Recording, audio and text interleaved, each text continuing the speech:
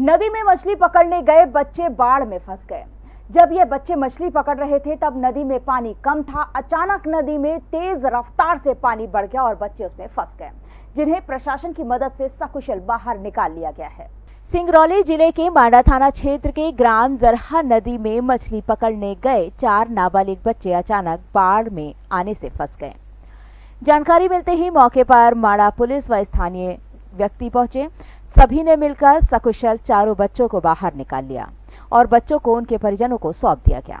सूत्रों का कहना है कि नाबालिग बच्चे खेल खेल में मछली पकड़ने गए थे। इनको अंदाज़ा भी नहीं था कि बारिश हो रही है और नदी का बहाव तेज़ी से बढ़ सकता है। यह लोग मुसीबत में पड़ गए। अचानक पानी तेज हुआ और नदी में पानी बढ़ गया।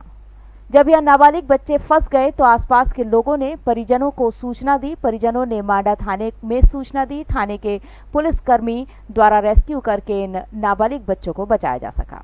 बच्चों को बचाने के बाद स्थानीय पुलिस ने इन नाबालिग बच्चों को उनके परिजनों को सौंप दिया।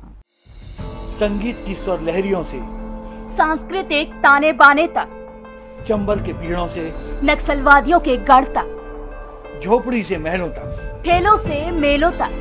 पगडंडियों से सड़कों तक। गाँव से शहरों तक। व्यापार से उद्योगों तक। राजनीति से कूटनीति तक। दखन न्यूज़। आपके हक